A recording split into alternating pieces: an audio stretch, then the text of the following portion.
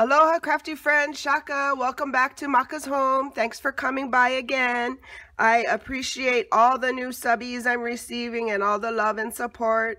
Um, I am trying to grow my channel, so I appreciate if you would share this video with your friends and families. Hopefully, uh, you have crafty friends that are interested in these types of videos.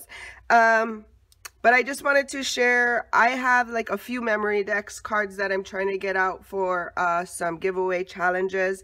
And instead of doing each one individually, actually I only have these two more that I have made. I'm going to have to make some more um, because I think I have three more challenges that I'm entering in. Um, and people are just, you know, doing lots of celebrating on their channel. Um, but so here's one of the Memorydex cards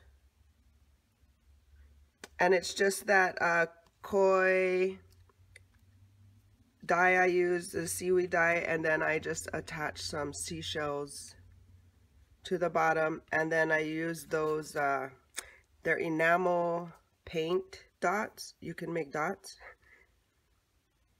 And then my info on the back.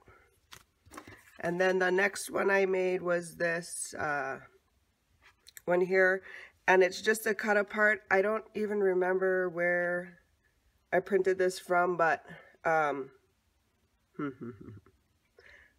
I think it was a free image off of Google. I found it somehow. Sorry. Um, I did cut out this aloha and these are just some Prima flowers I have that I've stacked.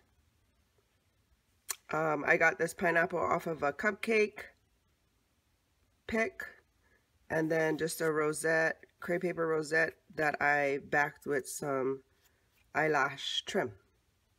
So yeah, that is my Rolodex.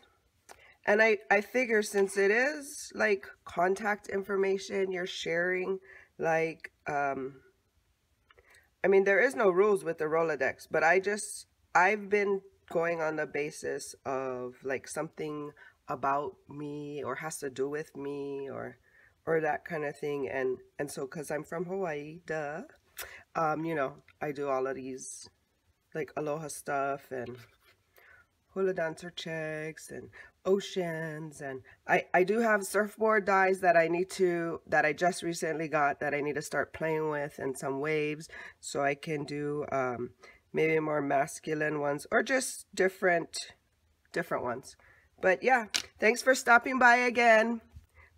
Hope you guys uh, have a great day and stay crafty. And let me know if you have any comments or questions down in the uh, comment section below.